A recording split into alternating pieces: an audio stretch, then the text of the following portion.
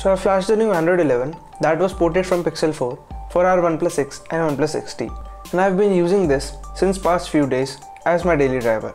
And in this video, I'll share my experience with the developer preview 2 and if you should try this on your device or not. So stay tuned till the end of video to get the answer to that question. But before we get to it, please don't forget to hit that subscribe button and press the bell icon to stay notified about the latest videos. It's free and helps the channel out.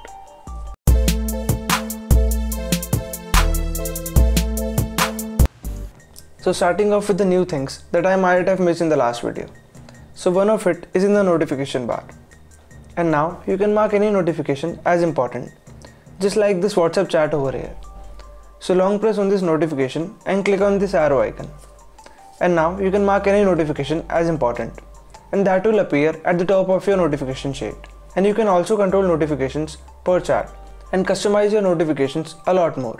It's a good refinement and prevents you from getting hundreds of overwhelming notifications.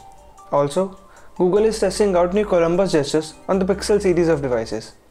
In these, you can tap on the back of your device to perform certain actions, like invoking Google Assistant and taking a screenshot, and maybe customize it as well, who knows.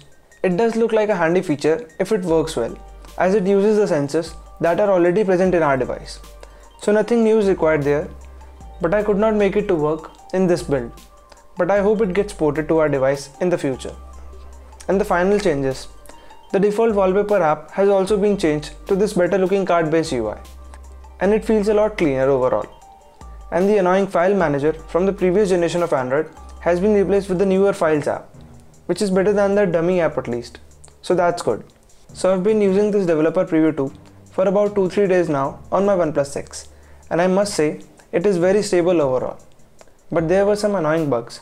Like with the YouTube Studio app, the keyboard was covering the overall text area and I could not type properly. Well, this was enough for me to switch to other ROM because it kills the usability and compromising with the basic features is annoying. And there were some random issues with the calls on Bluetooth as well. But nothing else apart from this. So the screen on time I got was of around 4 hours and 11 minutes, which is quite average, and the standby drain was also on the higher side as of now. So this has been a refreshing experience overall. And thus, I'll recommend you to avoid this ROM if you want better stability and good battery life. Also the installation process isn't as simple as it requires you to repartition your internal storage, which can cause some serious issues if not done properly. And apps like Netflix have only HD support. So I will update when a stable and easy to use version is out. So stay tuned for that. That was your final look at the Android 11 Developer Preview 2 on OnePlus 6. So do like this video if it helps you out and stay tuned for more videos like these. And I'll see you guys in the next one.